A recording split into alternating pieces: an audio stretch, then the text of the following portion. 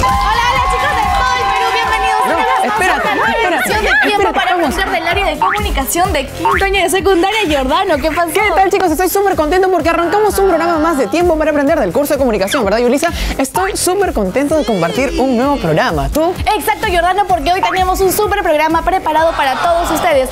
Y te cuento, tres Cuéntame. nuevos temas en los cursos de razonamiento verbal, literatura y lenguaje. Así es chicos, y lo más importante les cuento que al comenzar el programa, en la esquina de aquí, les aparece el nombre de USMPTV por arte de magia de nuestro editor. Ya saben que así nos pueden encontrar en nuestras redes sociales. Y Jordano, ¿te parece? ¿Iniciamos un nuevo programa? Vamos a comenzar ¿Con qué entonces. curso? Ah, vamos a comenzar con el curso de Lenguaje. Ahora sí estamos listos para comenzar con el curso de lenguaje y es por eso que vamos a hablar sobre este tema, que son los números. ¿Te has escuchado, Jordano? Sí. Estamos en el curso de comunicación. No puedes hablar de números, ¿o sí? Aunque ¿No? parezca raro, vamos a hablar sobre los números. Y así Los que ven, números. ven, acércate un poco a la A cámara, ver. porque yo sé que tú eres chancona y te matas estudiando. Inteligente, inteligente, Ya, tú eres inteligente, ok. Y es por eso que te voy a dejar un ejercicio. A ver. A ver, vamos a ver si la haces. Quiero que me digas la raíz cuadrada de 3.985 y lo multiplicas por 494 y a esto le restas 827. Ay, ¿Cuál pero es la si está facilito, ¿tú te la Ah, sabes? Dime la respuesta. Yo pues. la diría, pero ahí la producción no me deja decir. ¿Cómo que no te la No Usted, guion. que me diga la respuesta sí o no. No, no, porque no el Sí, a ver, sí, ver, ¿sí o no? ¿Y tú cuál, cuál es tu, Sí, tu a respuesta, payaso? Qué floro que eres, para eso te matas estudiando. Es Ya, pero inteligencia, la no profesora va a venir a dejarnos unos ejercicios A y si es que no le respondes va a venir con su látigo. Ah, sácame mi látigo, sácame mi látigo acá, así producción, así. ¡Ah! Te va a dar, te va a dar el... ¿Qué te pasó acá, Yulisa? A ver, enfoca, enfoca esto. ¿Qué le pasó? Cuéntanos qué te pasó aquí, Yulisa. ¿Ya te tiraron un látigo ahí? ¿Qué te pasó? ¿Qué fue ¿Sabes esto? Mejor dejemos ese tema y lo conversamos luego y vamos con el tema del curso porque hoy vamos a hablar de qué. De los determinantes numerales. Exacto, y no solo de eso, te cuento que también tenemos los determinantes exclamativos, interrogativos y Y falta uno, ¿cuál es? piensa, piensa, y distributivos. Así que no se lo pueden perder, no se despeguen de su pantalla y vamos con el siguiente video. Vamos a verlo.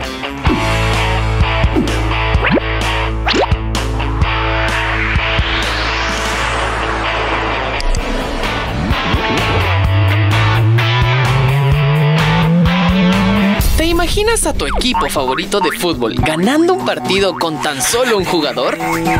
¿O una fiesta para un solo invitado? No tiene sentido, ¿cierto? Seguro has escuchado la frase la unión hace la fuerza. Bueno, te cuento que las palabras tienen muy en cuenta esta famosa frase. Y es que aquí entre nos no son tan solitarias como parece. Porque casi todas las palabras se reúnen. ¿Dónde? Pues en las oraciones.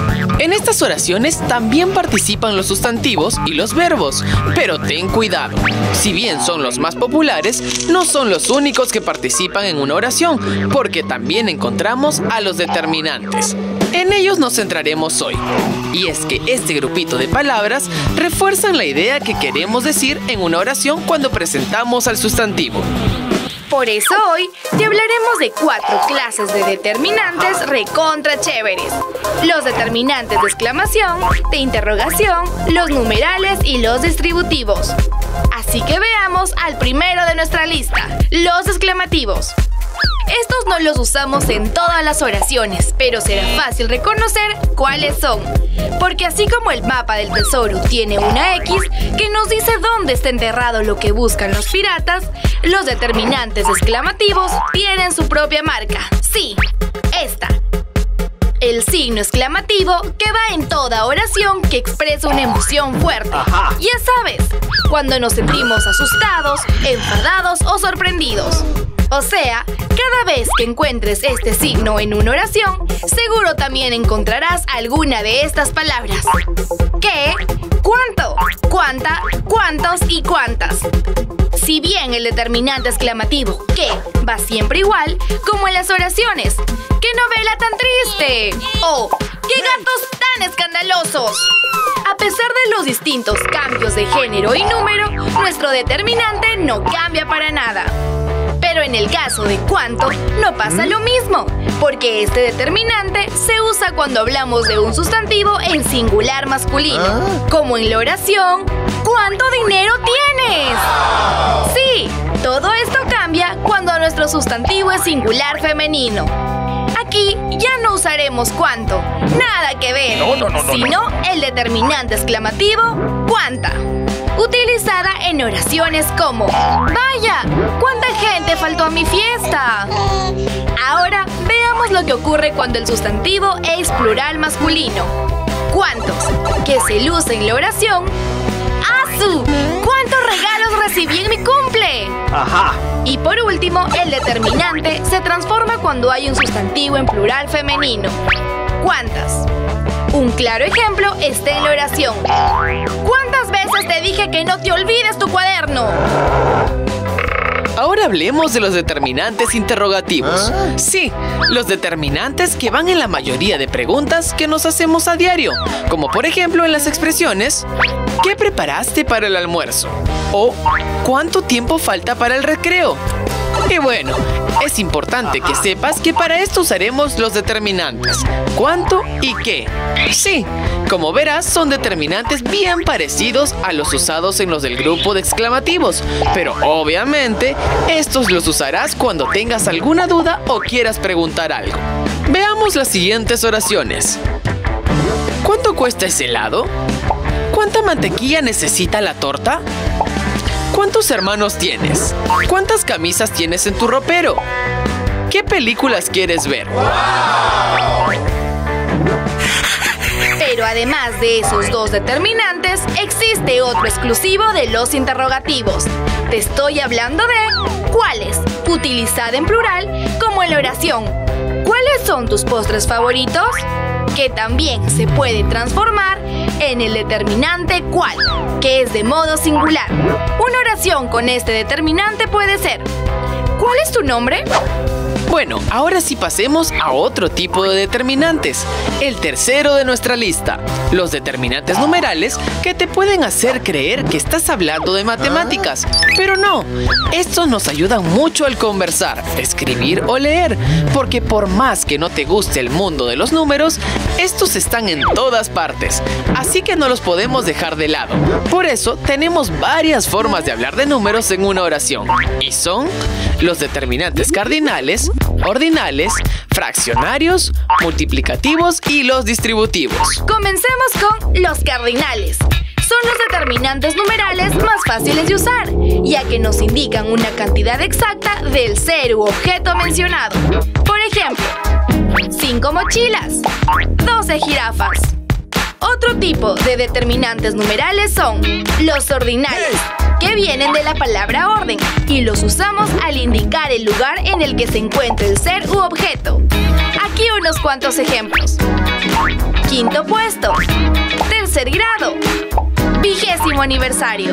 Por otro lado, los determinantes numerales fraccionarios son aquellos que nos hablan de solo una parte de algo como en media naranja, cuarta parte, medio tiempo. Para cerrar con broche de oro los numerales, veamos los determinantes numerales multiplicativos, que al contrario de los fraccionarios, los usamos cuando nuestro sustantivo está repetido.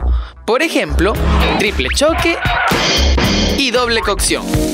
Ya casi terminamos con las clases de determinantes del día de hoy. Por eso, finalizaremos hablando de los determinantes distributivos que nos indican de manera vaga la distribución de los elementos implicados, para así estar enterado de cómo se organiza el sustantivo de nuestra oración. Bueno, no como el elefante, ya que los determinantes distributivos son palabras con cada, ambos o demás.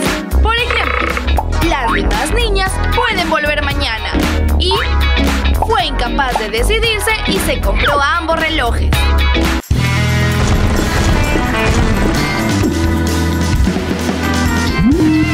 Chicos, espero que hayan estado muy atentos porque les traigo la pregunta sobre el tema y es la siguiente. ¿A qué grupo de determinantes pertenece la palabra que? A. Numerales y distributivos. B. Exclamativos e interrogativos. Y C. Exclamativos y distributivos. Jordano, ¿tienes la respuesta? Así es. ¿Cuál es? La letra Z. Bueno, conociendo tu nivel de inteligencia y razonamiento, lo podemos creer, ¿cierto, chicos? Obvio. Pero ya que no sabes ayudar, profe, díganos cuál es la respuesta. La alternativa correcta es la B, exclamativos e interrogantes. El determinante que se utiliza en las oraciones de carácter exclamativos acompañado del signo de admiración e interrogativos con el signo de pregunta. Ok, pero tú me preguntas a mí la respuesta y no la dices tú. Pero yo sabía Qué que era porque que te dije interrogativos o no te dije mentiroso. Que en la oreja, pero los chicos no sabían. Y ahora ya nos toca. Yuli? Pues te cuento que nos toca tu curso, uno que te gusta mucho. El curso de literatura. Exacto, así que vamos a ver.